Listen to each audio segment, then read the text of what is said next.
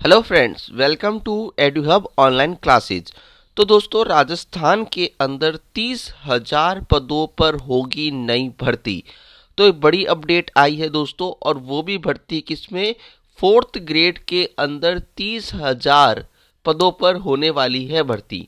तो आइए देखते हैं अपडेट। तो तीस हज़ार सफ़ाई कर्मियों की भर्ती का ऐलान।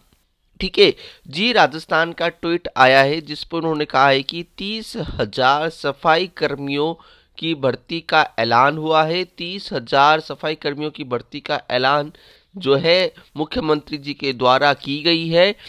तो बजट में ये भाषण दिया गया है और दूसरी सबसे बड़ी भर्ती आंगनवाड़ी के अंदर।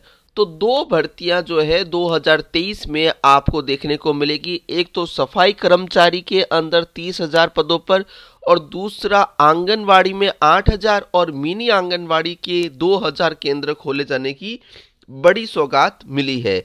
तो ये दोनों ही अपडेट आपके लिए बहुत अच्छे हैं दोस्तों। आंगनवाड़ी के अंदर भी बहुत सारे पद मिलेंगे और फोर्थ ग्रेड यानी कि सफ़ाई कर्मचारी के तीस हज़ार पदों की घोषणा की गई है।